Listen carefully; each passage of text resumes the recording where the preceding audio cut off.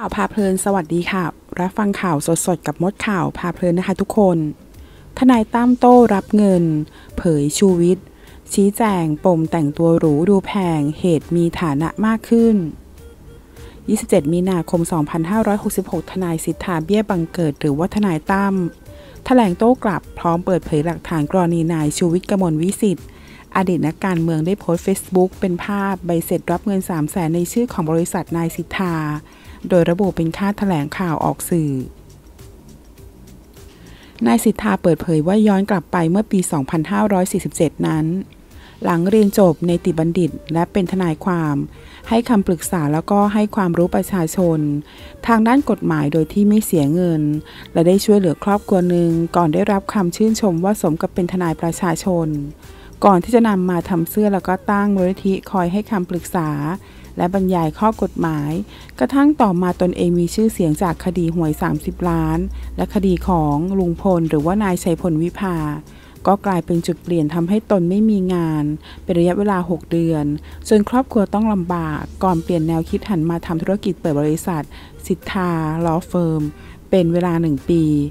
มีคดีความนับพันคดี นายสิทธายอมรับว่ามีคดีที่ตนเองเรียกเก็บเงินจริง แต่ไม่ใช่ทุกคดี เว้นแต่เป็นคดีที่ต้องต่อสู้กับผู้ที่มีอิทธิพล ซึ่งลูกความต้องมีกำลังจ่าย และตนจะถูกฟ้องร้องแน่ โดยเงินดังกล่าวจะไปใช้กับทุกคนที่จะถูกฟ้องไม่ใช่กับตนเท่านั้น ยกตัวอย่างคดีความขัดแย้งในครอบครัวคดี อดีตรองนายก ดังนั้นจึงคิดค่าแถลงข่าวแล้วก็การติดตามเรื่อง โดยทำในรูปแบบของใบเสนอราคา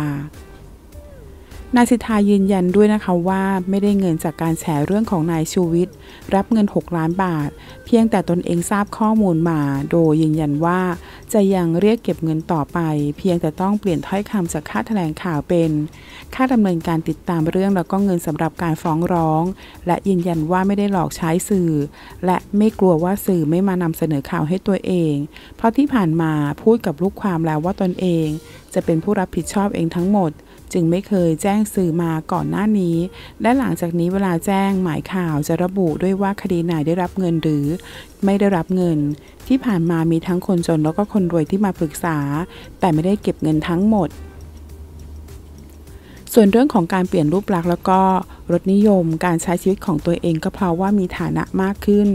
จึงอยากให้ครอบครัวมีความเป็นอยู่ที่ดีขึ้น ไม่ถือเป็นเรื่องแปลกแล้วก็ไม่ผิดปกติอะไร เพราะว่าตัวเองยืนยันว่าทำธุรกิจโดยสุจริตยอมรับว่าลูกความเคยมอบของขวัญ นอกจากเงินให้เป็นเสื้อราคา 20,000 บาท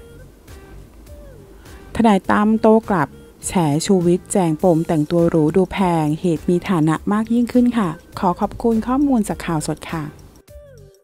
ถ้าเพื่อนๆชอบคลิปนี้ ฝากกดไลค์และกดกระดิ่งติดตาม เพื่อเป็นกำลังใจให้กับช่องมดข่าวพาเพลินด้วยนะคะ ขอบคุณค่ะ